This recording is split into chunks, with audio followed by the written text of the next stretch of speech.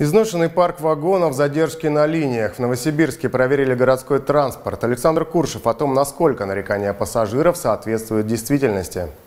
Муниципальное казенное предприятие «Гор Электротранспорт». Некогда визитная карточка Новосибирска. Сегодня поводов для гордости меньше. Не нужно быть экспертом, чтобы понять, нового транспорта – единицы. Большинство троллейбусов и трамваев переделаны, переварены и перекрашены.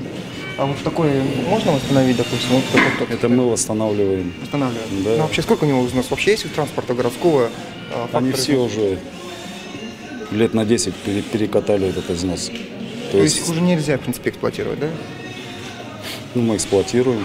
Другими словами, это приходится делать от безвыходности. По словам начальника управления пассажирских перевозок, больше 50 электромашин нужно уже сейчас прямо с дороги угонять на свалку. Два года назад мэрия Новосибирска начала разрабатывать программу комплексной транспортной модели. Эксперимент должен был убрать с дорог дублирующие маршруты и разгрузить направление с большим пассажиропотоком. Но очереди на остановках так никуда и не исчезли.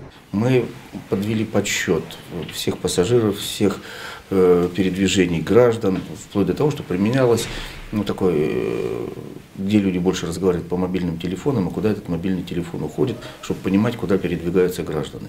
Граждане наши, жители города. Ну, большая серьезная работа была, целый институт был задействован, студенты. Вот. И вот эти предложения, о чем сегодня говорят Наши руководители, они действительно созревали очень давно, к сожалению, пока не можем реализовать. Во сколько обошелся городской казне эксперимент – вопрос. Администрация гор электротранспорта тонко чувствует, депо гудит и дышит, пока в него верят люди. Многие специалистов проработали здесь больше 20 лет. Зарплата какая у вас? Меня зарплата устраивает. Кому не нравится, я не знаю. Я, не, я чужие деньги не считаю, но и свои никому не отдам.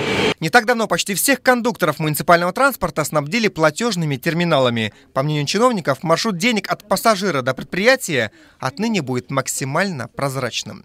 Александр Кушев, Алексей Погодин. Новости УТС.